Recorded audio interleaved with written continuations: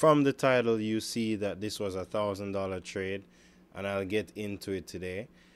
This trade would have been a thousand dollar trade if I had let it run, probably. I'll show you that how I entered in the market today. I actually made two hundred dollars on the day. I cut it short. I could have made a lot more money. I mean, I kind of have a problem with letting winners ride sometime, but I'll show you the strategy and then I think we can turn this into a ten thousand dollar strategy, a hundred thousand dollar strategy. Hopefully, I find more effectiveness and kind of get to study this a lot more, right? So let's make this smaller so you can see what I'm showing you. So I entered three trades today, right? And some were like early, some were um, middle day too as well but I'll show you what I was seeing today, right?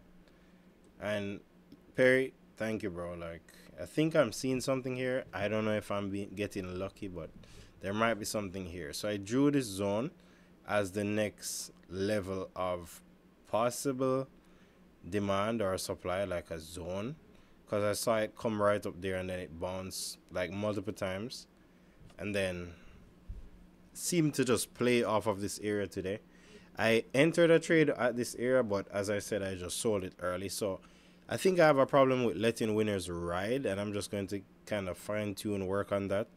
And once the consistency is there, this strategy can be scaled to a lot. And I have a 50% win rate now. You can see that here.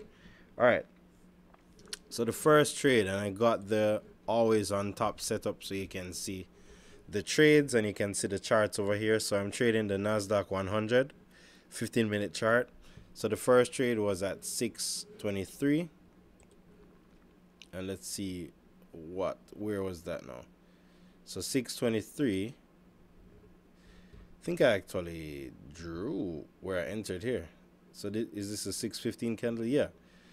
I actually showed somebody this trade today. So I entered here to the buy side and then I closed the trade at 6 on the 645 candle as it got into this area. 645 okay.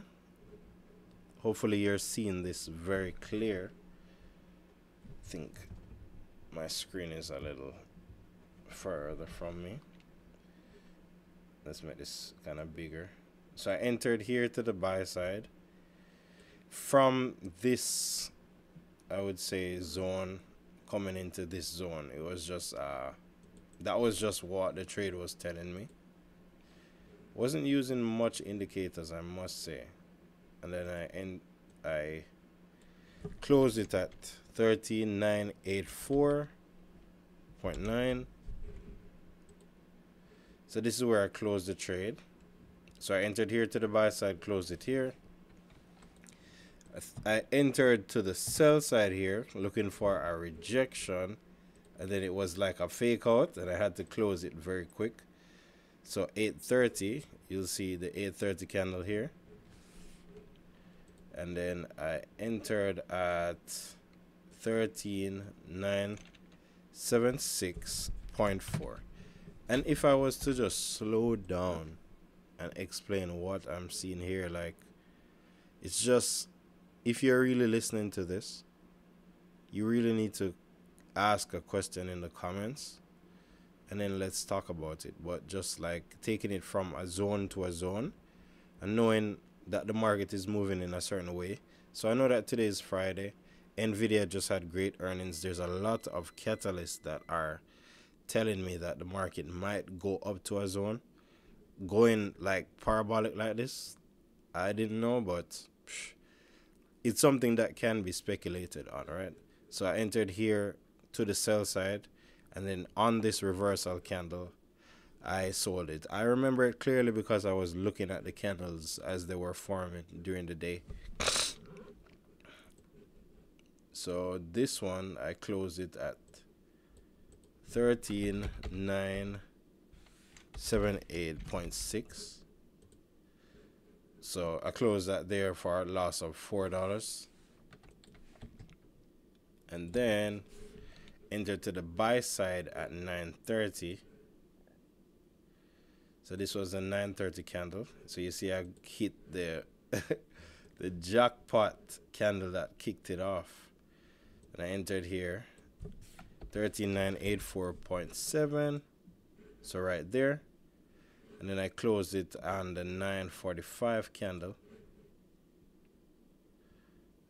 This one 940 so the next candle over closed it at 14 8 5.4 the thing about me closing it there is like my target was 14000 on the nasdaq 100 to see it go to 14080 14085 was like whoa solid you know like that's a high for me right but the nasdaq continued look at this look at this trade look at this trade the Nasdaq continued up until 14328. Right? So I entered at 13984. This is a 4, let me see. At minimum $300 trade. Clean cut profit.